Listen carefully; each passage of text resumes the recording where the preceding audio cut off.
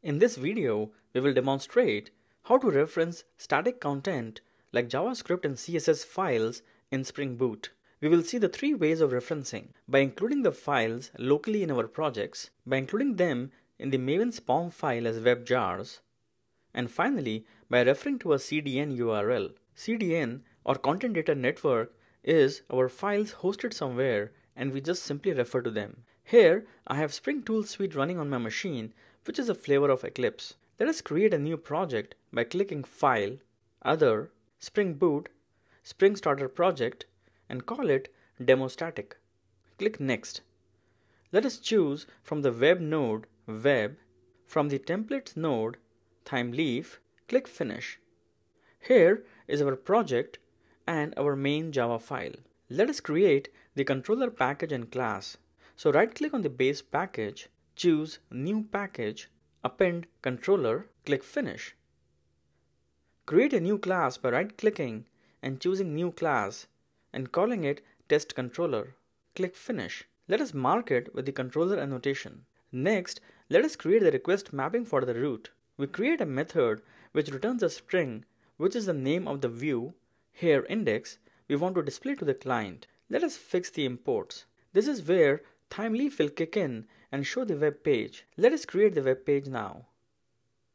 Thymeleaf expects the web page with the same name to be present in the templates folder under source main resources.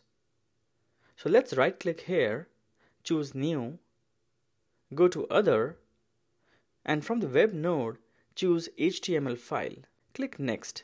Give it the same name which our controller is returning, so index. First, let us include the XML namespace for Thymeleaf using xmlns colon th equal to http www.thymeleaf.org. Inside the body, let us put a div in which we simply create two buttons with value button 1 and button 2.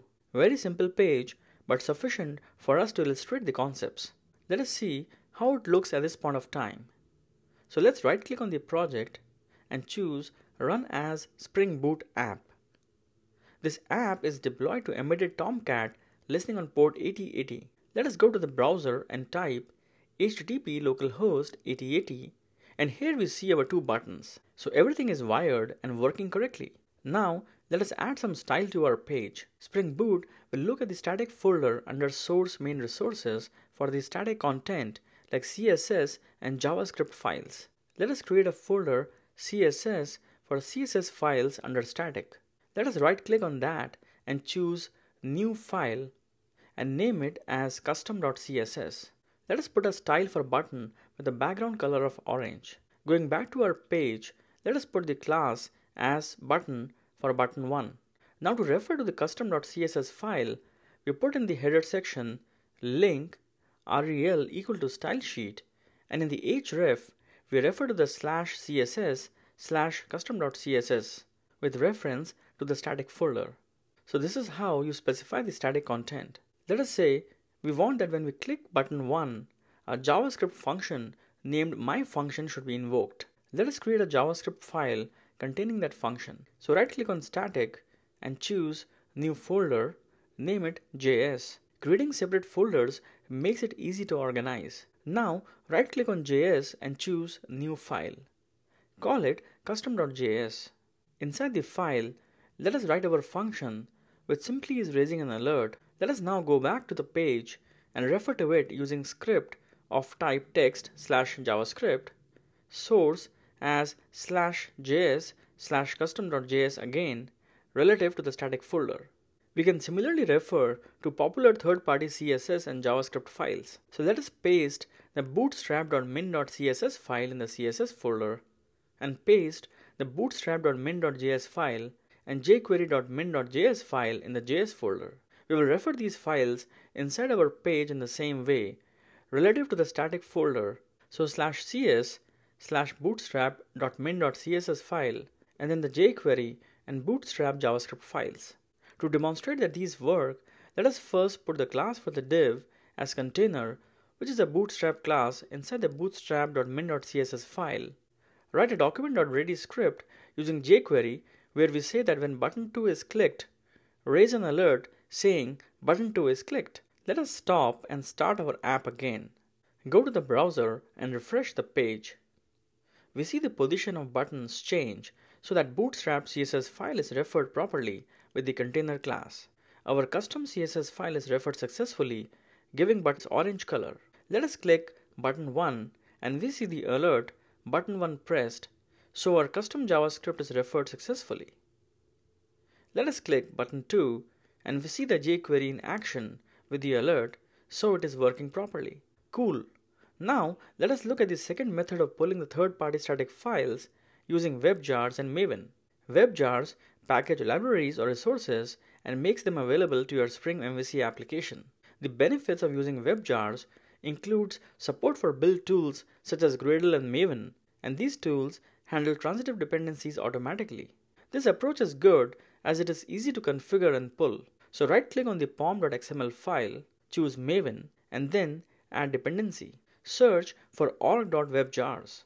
As you can see, there are so many of these standard libraries available using org.webjars. Let us select Bootstrap. We see it here in the POM. Let us add another dependency, put org.webjars, and this time pick jQuery.